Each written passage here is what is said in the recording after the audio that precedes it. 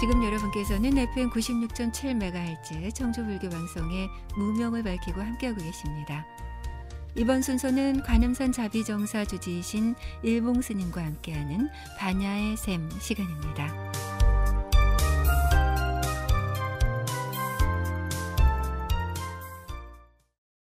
네, 안녕하세요. 어, 관음산 자비정사 서길봉입니다.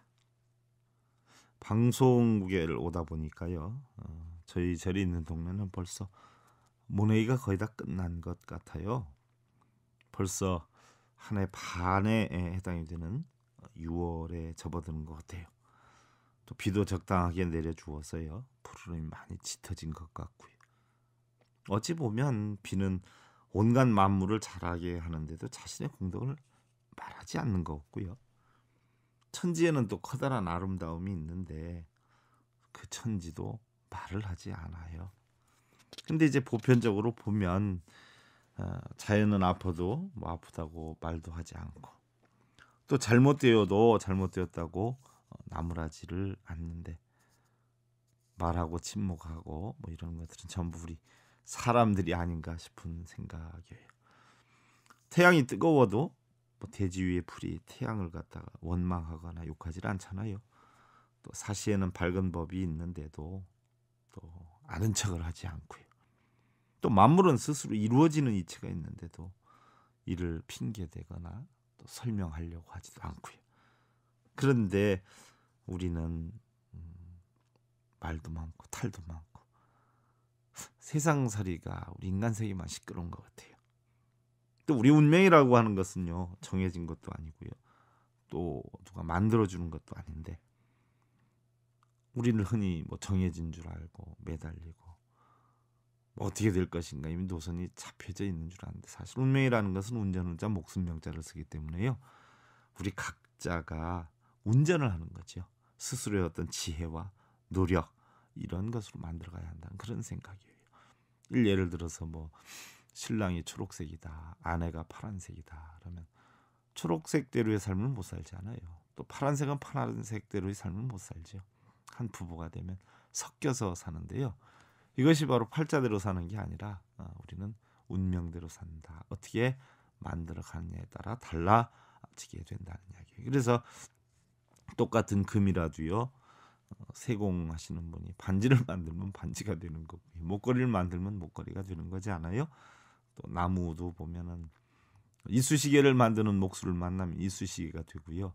대들보를 만드는 목수를 만나면 대들보가 되는 것과 같이 우리 보살님들도 그러지 않아요? 장사하시는 분을 만나면 장사하는 분의 아내. 뭐 공무원을 만나면 공무원의 아내. 기술자를 만나면 기술자 아내. 뭐 이렇게 되지 않아요? 그런 거 보면은 이미 그것이 뭐 팔자에 정해진 거 아니고요. 너는 뭐 박가를 만나라 김가를 만나라 정해진 건 아니지 않아요? 내가 좋아서 박가를 만나서 박씨를 받아서 박씨 새끼를 낳는 거고요. 김가를 만나서 김씨를 받아서 김씨 새끼를 낳는 것이고요. 이게 다 우리 삶이라는 것은 운전 운자의 목숨 명자라서 운명이라 그러지요. 바로 목숨을 운전한다. 쉽게 읽면 인생을 운전한다. 그래서 어떻게 보면 우리 운명은 우리 각자 스스로 어, 어떤 지혜 노력 이런 것으로 만들어가는 것이다 이야기예요. 그리고 어떻게 보면 우리는 각자 누구에게나 다 재능이 굉장히 많다는 생각인데요. 그것을 이끌어내는 방법을 모르거나 혹은 이끌어내려고 하지 않는데 문제가 있는 것은 아닌가 하는 이런 생각을 해보게 되는데요. 우리 불자님들은 그런 능력을 충분히 발휘를 하셔서요. 어, 아주 행복한 그런 날들 만드셨으면 하는 바람입니다. 오늘도 부처님의 진리로 행복을 심어주는 청주 BBS 불교 방송 무명을 밝히고의 경전교리 제 160회차 반예샘 시간을 통해서 여러분들께 인사를 드립니다. 관음산 자비정사 서길보입니다. 벌써 160회가 됐네요. 꽤 오랜 시간 여러분들 만나는데 요즘 불설 천지파량 신중에 대해서 여러분들한테 해설을 해드리고 있는데요. 어, 지난 시간에 아주 재미있는 상황이 되었다 끝났습니다. 어, 지난 시간에 아, 날짜에도 태일하지 못하고 때가 되면 낳고 요즘 태일을 하지만요. 죽을 때도 태일하지 못하고 때가 되면 우리가 죽고 또 그러는데 어찌해서 초빈하거나 장사를 할 때 좋은 날을 태비, 어, 태기를 하고 장사날을 태기를 하고 또 이렇게 하느냐 또 태기를 해서 어, 한다라고 해도 오히려 해가 있거나요 또 빈공하거나 아니면은 가정이 어려움을 겪는 그런 경우가 많은데 어, 부처님이시여 이게 어떠한 인연으로 그렇게 되는 것인지 그런 것을 잘 모르는 무지한 중생들을 위해서 어, 본문을 설해 주십시오라고 어, 선남 선제 선제가 어, 선남자 아, 예, 보살이 예, 무해보살이 부처님께 질문을 했어요. 그러자 불원 선제 선제 선남자여 하셨단 말이지요. 부처님께서 좋다 좋다 선남자야라고 답변을 한 상황까지 지난 시간에 했던 것 같아요. 여실 심능문어 중생생사지사 빈장지법 여등제청 이라 그랬어요. 여실 심능문어 여실 심능문어 중생생사지사 빈장지법 여등제청이라 내가 능히 어, 물었어요. 마음 깊이 여실 내가 능히 마음 깊이 물었어요. 뭐를 물었냐? 중생 생사지사라 중생들의 나고 죽는 일과 빈장지법 여등제청 초빈과 장사 지내는 법을 물었으니 여등제청하였으니 여실 자세히 들어라. 당위여설 지혜질이 대도지법이다. 당위여설 지혜질이 대도지법이라. 너희들을 위하여 당위여설 너희들을 위하여 어, 지혜로운 지혜질이 지혜로운 이치와 대도지법 대도의 큰 법을 어, 말하나니 부천지광 대청 1월 광장명 신현 선선미 실무유이다 그랬어요.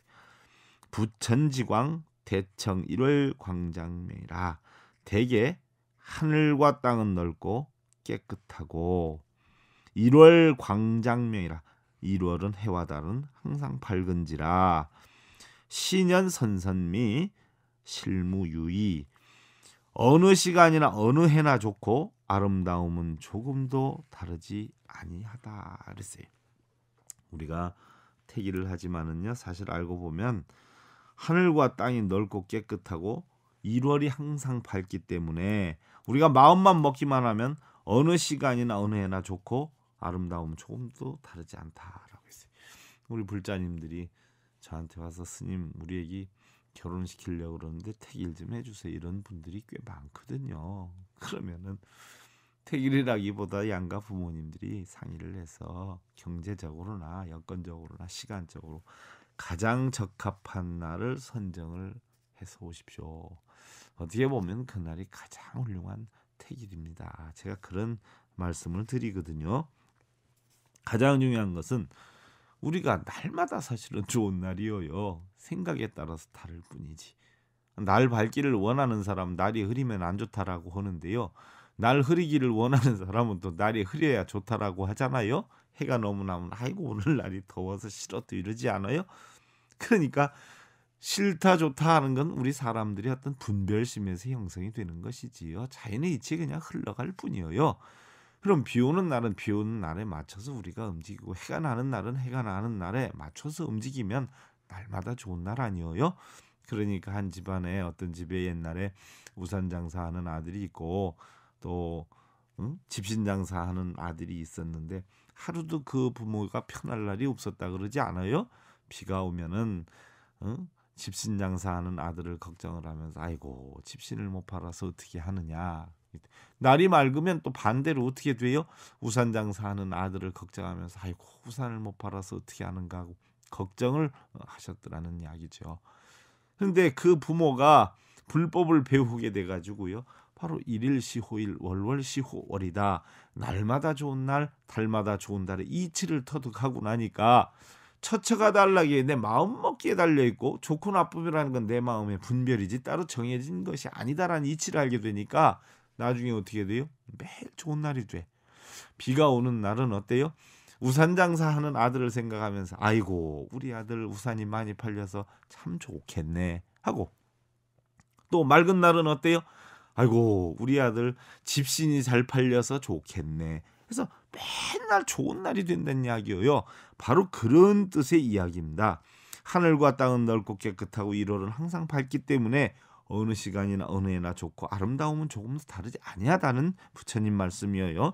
선남자 인왕보살 심대잡이 만념중생이라 선남자여 인왕보살이 인왕보살 심대잡이 크게 차비해서 중생들을 불쌍히 어, 불 어, 불쌍히 여기시기를 민념 중생 개여적자 하위 인주 장민 부모 아, 순어 속인이라 그랬어요. 개여적자 허위인주 장민 부모 순어 속인이라 어린아이와 같이 하는 덕으로 사람들의 임금이 되시어 백성들의 부모가 되었을 적에 인왕보살이 크게 자비해가지고 중생들이 불쌍히 여기어서 바로 백성들의 부모가 되었을 적에 교만속법 유작 얘기를 반하천하 영지 시절 그랬어요. 교민속법 유작 얘기를 반하천하 영지 시절 세속 사람들을 수순하여 세속법을 가르치면서 인력을 만들어 천하에 반포를 하고 절후를 알게 하였는데 절후다 하는 것은 뭐 계절 분기 뭐 이런 거지요. 아, 이게 기가 막히게 잘 만난 말이에요. 여러분들 입춘이 지나 가지고 뭐 며칠이 지나면 어 뭐를 신고 며칠이 지나면 뭐가 되고 어 뭐 158일인가 지나면 태풍이 오고 기가 막히잖아요. 이렇게 했는데 만평성수 계제지자 지비 파살 지무 이렇게 했어요. 바로 그 저루를 알게 했는데 그 저루가 바로 그것은 만, 평, 성, 수, 개, 거둘 수 뭐 10개, 재, 집, 위, 파, 살 이란 글자를 만들었고 우인 의자 신용 무불 면기 흉하라 그랬어요. 어리석은 사람들은 글자대로만 믿으면 흉한 일과 재앙을 면하는 줄만 알고 이렇게 표현을 한단 말이죠. 그러니까 결국은 이런 글자를 만들어서 우리가 참고를 하기 위해서 한 건데 사람들은 참고를 할 생각하지 않고 어떻게 글자만 믿으면 그냥 다 흉한 일을 면하는 줄로만 알고 있다. 여러분들 일례를 하나 들어봐 가지고요. 입춘 때 되면 여러분들 입춘대길부 다 붙이지 않아요? 그러면은 입춘대길부를 붙임으로 인해 가지고 여러분들 어려운 일이 다 없어지고 뭐 괜찮음이 오고 이러는 것은 아니에요. 우리가 어떤 입춘일을 맞이해 가지고 새해 어? 봄이 되고 올바른 봄이 됐다라고 하는 건 반대로요. 뭐예요? 바로 우리가 금년에는 어떻게 해서든지 잘 보내야 되겠다. 원만하게 지내야 되겠다 하는 그런 뜻도 담뿍 담겨 있어 가지고 금년에는 어떤 일을 할 때 조심할 것은 하고 더 노력할 건 무엇인가를 알아 가지고 우리가 크게 길하게 만들겠다는 각고를 세우는 게 사실은 입춘대 길이지요. 1년의 계획은 우리가 봄에 세우잖아요. 하루의 계획은 아침에 세우고요. 우리 인생의 계획은 어려서 세우지 않아요. 청년 시절에 그와 같이 입춘대길이다라고 하는 것은 한 해의 계획을 세워가지고요.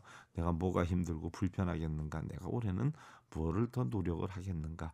작년에 하다 미진한 부분인데 이런 건 채우고 작년에 내가 이런 부분에 어려움을 겪었는데 이런 부분은 잘 내가 간파를 해가지고 등이 제거를 잘 해내겠다 한 그런 각고를 다지기 위해서 입춘대기를 써서 붙이는 것이지 입춘대기만 써서 붙인다고 해서 재앙이 다 없어지거나 집안이 무조건 잘 되거나 하는 것은 아니라는 이야기예요. 여러분들 간혹 보면은 뭐 큰 절에서도 제가 많이 봤지만 어, 부 같은 거, 신부 같은 걸 많이 만들어 준단 말이죠. 사실 부다라고 하는 것은 뭐 언제 기회 되면 여러분들께 설명을 드리겠지만요. 호신부라고 그러지 않아요? 호신부. 어, 보호할 호자, 몸신자 어, 그런 어떤 도구 응? 어, 부여요. 그럼 냉정히 따져 보면은 여러분들 우리가 아, 설에 보면은 부다는 것은 부적이 있고 부작이 있거든요. 부작, 부적. 부작이라는 것은 만들 짝자를 쓰는데요. 어, 부작이라는 것은 입체로 된 것은 다 부작이고요. 그 다음에 부적이라 하는 것은 이제 평면으로 된 건 다 부적이다 이렇게 표현을 하는데 앞에 꼭 붙는 게 호신부예요. 호신부. 몸을 보호하기 위해서 만드는 도구다 하는 이야기예요. 몸과 마음을 보호하기 위해서 만드는 도구다. 그래서 호신부, 부작, 부저 이러는데 여러분들 옛날 대문들을 보면 사자상으로 이렇게 해놨지 않았어요? 위험력과 집안의 어떤 어려움을 방비하기 위한 사자 얼굴을 한 대문을 이렇게 해놨죠. 그것도 사실은 부작이에요. 입체로 됐으니까. 여러분들 옛날 뭐 괴라 그러죠. 괴, 장괴, 뭐 사랍괴 이런 거 다 잉어로 이렇게 해가지고 해가지고 이렇게 고리를 걸어서만 다 부작입니다. 여러분들 결혼을 할 때 사랑의 선물로 해가지고 뭐 반지도 주고 시계도 주고 목걸이도 주고 하지 않아요? 그럼 건대는 건데 반지 주는 건 네 손가락 걸은 거고 팔찌 준 건 네 팔목 걸은 거고 목걸이 준 건네못 걸었다. 넌 내 거다 하는 이야기 너찜 하는 거 아니에요? 내 거다 찜. 응? 그게 사실은 뭐 그것도 부작이에요. 부작. 이걸 받음으로 인해서 어 사랑스러운 마음이 생기고 난 이제 네 사람, 우리 사람, 우리는 동반자가 됐다 하는 어떤 마음이나 몸을 편하게 하는 도구 아니에요? 그것도 냉정히 보면 부착이에요.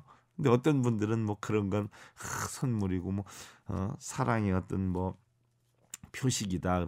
사랑의 표식도 다 뭐예요? 뭔가 마음을 편하게 하기 위해서 지닌 하나의 도구 아니에요? 그렇게 입체로 된 건 다 부작이고요. 여러분들 평면으로 돼가지고서는 집에다 예를 들어 사진을 걸어놨다거나 달마도를 걸어놨다거나 잉어도를 걸어놨다거나 아니면 외국 서양 작품 아주 유명한 화가 뭐 고 선생님의 아니면 뭐 피카소 선생님의 닮은 사진을 걸어놨다든가 또 뭐 여러 가지 동양화를 걸어놨다. 그건 그림으로 하는데요. 어때요? 그런 걸 가정으로 걸어놓음으로 인해서 사람들이 어때 마음이 유해지고요. 아름다움을 느끼게 되죠. 뭔가 마음 편하게 되죠. 그것도 다 부적이에요. 부적. 평면으로 돼 있으니까. 그러고 보면 집도 부작이고요. 신발도 부작이고요. 부가 아닌 것이 하나도 없어요. 세상에. 호신부니까. 모르는 사람들은 뭐 주사로 그리고 먹으로 그리고 뭐 달마도를 그리면은 타종교인들은 뭐 미신이다 뭐 어, 마가 낀다 사탄이다 예수님 사진도 사실은 부거든요 부 부적이에요 평면으로 된 것 입체로 된 동상은 부작이고요. 뭔가 마음을 편하게 하기 위해서 입체로 만들어 놓은 건 다 부작이에요. 평면으로 그림 그려 놓은 건 부적이고요. 분명히 아셔야 돼. 뜻을. 알고 뭐 미신이다 아니다. 그런 말씀을 하셔야지 미신이 뭔지도 모르고 미신 미신 그런. 그런 이야기를 하는 사람들이 미신이에요. 중요한 것은 뭐예요? 그런 게 미신이다 아니다 중요한 게 아니라 가장 중요한 것은 뭐예요?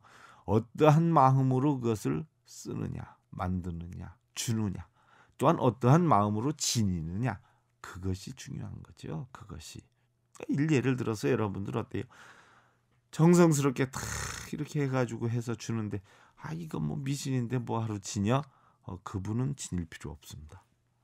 근데 글이라도 하나 멋지게 써가지고 항상 날마다 좋은 날 되십시오 해서 한글로 딱 써서 줬는데 아이고 고맙습니다 하고 날마다 좋은 날 되도록 열심히 노력해야지 하고 잘 몸에 지니고 다니면요 그 상당한 효과가 있죠 왜 항상 생각을 하고 그렇게 만들어 가려고 하니까 그게 어떤 신통명한 부의 힘이다. 이렇게 볼 수가 있는데 그 부의 힘도 결국은 어디에서 나와요? 마음에서 작용이 된다는 이야기예요. 바로 그와 같이 절호를 알게 하려고 만평성수, 계제, 집위 여러분들 인력 보면 다 나와 있잖아요.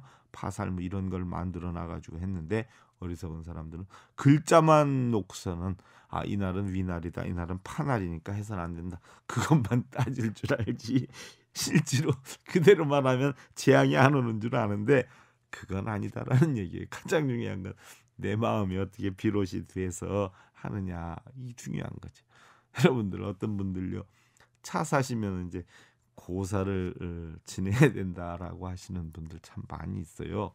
그래가지고서는 저한테도 스님 고사를 지내야 돼요 말아야 돼요 물으시는 분들이 참 많아요.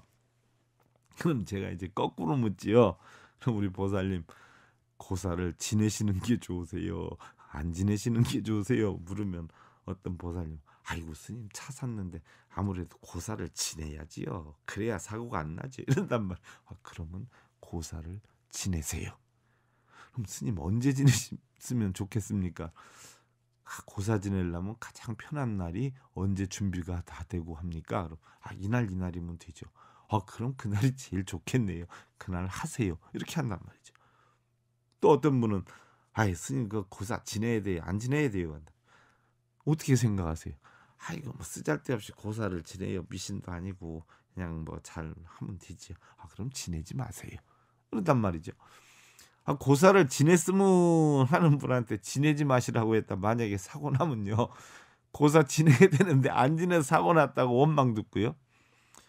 고사를 안 지냈으면 좋겠다는 사람한테 아, 고사 아무래도 지내시는 게 좋아요. 그러다 사고 나봐요. 그 이상한 짓 해가지고서 사고 났 이런단 말이죠. 바로 뭐예요? 일체가 유심조예요. 여러분들 고사 지내가지고 차 바퀴에다가 술도 뿌리고 막 하지 않아요? 차에다 막 술을 뿌려요. 어떤 분이 고사를 지내고 나서 술을 잔뜩 뿌리고 이렇게 해가지고 이제 하, 기분 좋게 고사도 끝나고 시운전을 한다고 해서 차를 끌고 나갔는데요. 나가자마자 접촉사고가 났어요. 그러니까 하는 소리와 아이고 고사를 지내면서 차 밖에 술을 너무 뿌려가지고 바퀴가 술이 취해서 그래 그런단 말이죠. 그 바퀴가 가서 사고를 내나요? 운전하는 사람이 잘못해서 사고를 내는 거죠. 하여간 어떻게 됐든 마음을 편하고자 한 소리는 모르지만 어, 그렇게 좀 우스운 경우도 있습니다. 바로 그런 이야기예요. 어리석은 사람들은 글자대로만 믿으면 흉한 일과 재앙을 면하는 줄만 알고 우사사사 앞진 설시도비 만구사신 배학이 각 초왕 자수고 그랬어요. 우사사사 사도를 하는 사람들은 이것을 부연해서 앞진 설시도비 만구사신 배악이 각 초왕자수고라 그랬어요. 이리 하면 옳고 저리 하면 그릇되다라고 하면서 부질없이 사신에게 구하고 악귀에게 절을 하다가 도리어 재앙을 부르고 괴로움을 받는 것이니. 그랬어요. 여러분들 뭐 이렇게 해주는지 가보면은 깃발이 이렇게 걸려 있잖아요. 깃발이. 그래서 뭐 어, 흰색도 있고 빨간색도 있고 뭐 노란색도 있어. 산신을 모셨다 천신을 모셨다. 이렇게 해서 뭐 오방기다 해가지고 표현을 하는데요. 그게 부처님 제세 시에도 사실은 있었어요 우리가 우리 불교에서 흔히들 이제 번이다 이렇게 표현을 한단 말이죠. 번. 네, 그런데 부처님 제세 시에는 아, 집안에 누가 돌아가시면은요. 여러분들 옛날에 우리가 그 누구 돌아가시면은 3년상을 하지 않았어요? 아니면 1년 상하다 줄어서 49제 상하다. 요즘은 뭐 3호 5장 뭐 이렇게 많이 하지 않아요? 옛날에는 3년 정도는 꼭 했단 말이죠. 그러면은 뭐예요 어, 우리 집은 누가 돌아가셔서 3년 동안 기도하는 집이다. 매일 제를 올려야 된다. 음식을 올리고 제를 지내야 된다. 그래서 우리 집은 제를 올리는 집이니까 아, 주변에서 너무 시끄럽게 하지 말고 경건함을 만들어 달라 하는 뜻으로 사실은 번을 달았어요. 깃발을 달았어요. 여러분들 아들 낳고 딸 낳으면 어때요? 아 여기 지금 아들 낳은 집이다, 딸 낳은 집이다, 아기 낳은 집이다 해가지고 옛날에 뭐 숯하고 이렇게 고추하고 걸기도 하고 이렇게 하지 않았어요? 일종의 바로 그와 같은 이치로서 길을 걸었어요. 번을 달았다는 이야기죠. 아, 옛날에 저 저 절에는 그 당번 음, 번다는 데가 있었잖아요. 기대 이렇게 음, 우리 뭐 깃발 달듯이 하는 데마다 다 있었어요. 그럼 그런 어떤 제뭐 무속 이런 집에 기대를 꽂는 거는 거꾸로 얘기하면 우리는 1년 365일 내내 뭐예요? 기도 재 지내는 집이다. 기도하는 집이다. 뭐 올리는 집이다 표시요요. 그러니까 어떤 분들은 그런데요. 거기를 가려면은 쌀떡 담궈 놓고 가야 된다. 바로 그게 맞는 얘기예요. 항상 한 대는 뜻이거든요. 그게. 바로 그 얘기가 이런 거예요. 이렇게 하면 오라, 저렇게 하면 오라. 이리로 가면 안 돼. 이리로 가면 뭐 진기방이야, 아, 삼살방이야, 대장군방이야. 절대로 가면 안 돼. 아, 저한테도 그 제가 참 현실에서 많이 부딪히는 게 스님. 올해는 어디가 대장군방이고 어디가 삼살방이세요? 이런 걸 참 많이 물어요.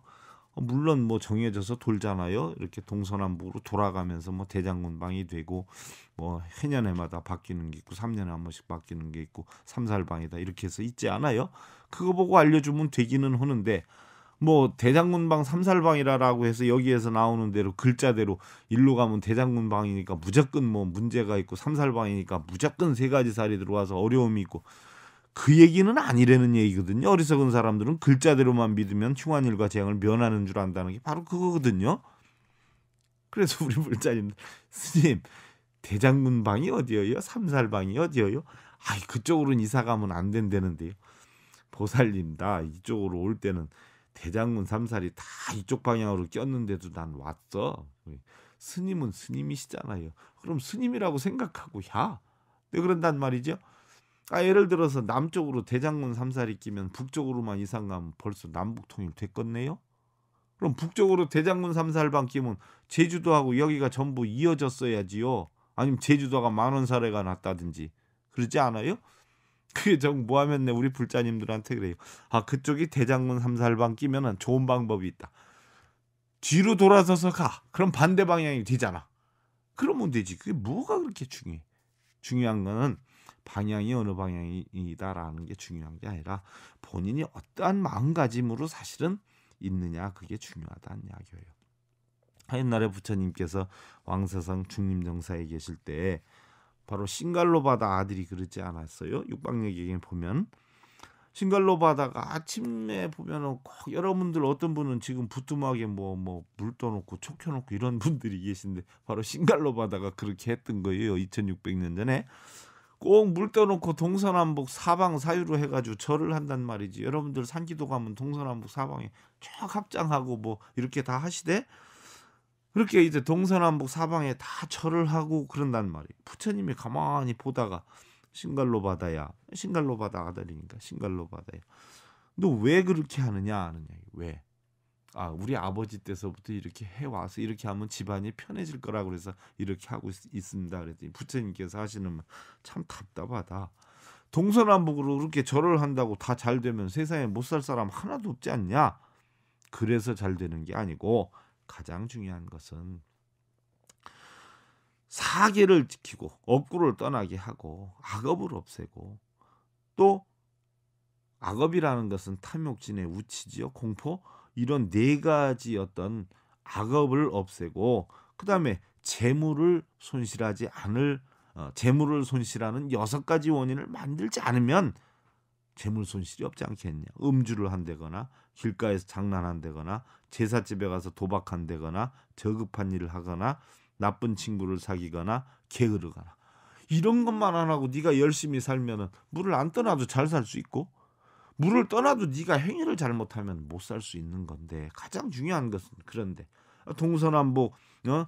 상하 중앙으로 네가 정 그렇게 방향을 따진다면 동쪽에는 부모로 삼고 남쪽은 스승으로 삼고 서쪽은 처자로 삼고 북방은 친구로 삼고 바로 중앙의 상방은 사문으로 삼고 하방은 노예로 삼아서 여섯 가지 할도리를 다는 그런 이치를 지키면 되지 않냐라고 해서 육방예경을 설했어요. 행위가 중요한 건 아니에요. 글자가 중요한 건 아니라는 얘기. 내가 어떤 마음으로 어떤 이치에 맞춰서 행동을 하냐 그게 중요하다는 이야기죠. 오늘도 벌써 시간이 꽤 많이 됐네요. 그래서 여러분들 참고로 해가지고요. 분명히 모든 것은 자기가 어떠한 행위를 실천하느냐 생각을 갖느냐에 따라서 달려 있다라는 걸 분명히 아시고요. 우리 불자님들 혹여 우리 많은 사람들이 어떻게 보면 뭐 사소한 일들을 대단하게 생각하고 대부분 시간을 보내고 힘을 다 쏟는 경우가 많다는 생각이에요. 그러다 보니까 정작 우리의 삶의 어떤 즐거움이나 행복이나 아름다움은 전부 뒷전이 되고 있는 것 같기도 하고요. 우리가 항상 어떠한 일이 되었든 마음을 잘 다스리고요. 아무리 작은 일이라도 최선의 노력으로서 신중을 다해서 어떤 시간, 어떤 장소, 또 어떤 여건이 되었던 우리가 처해 있는 현실이 가장 최상의 시간이고 최고의 장소라라고 하는 것을 잘 가늠하셔서 항상 행복한 그런 날들 되시기를 기원을 드리면서요. 혹여 궁금하신 점이나 좋은 의견이 있으시면 청주 BBS 불교 방송국이나 다음 카페 서길봉의 불교세계에 남겨주시면요. 어, 본승이 집필한 한 40여 권 도서 가운데 한 권을 선물로 보내드리겠습니다. 감사합니다. 그동안 관음산 자비정사 서일봉이었습니다. 여러분들 성불하십시오.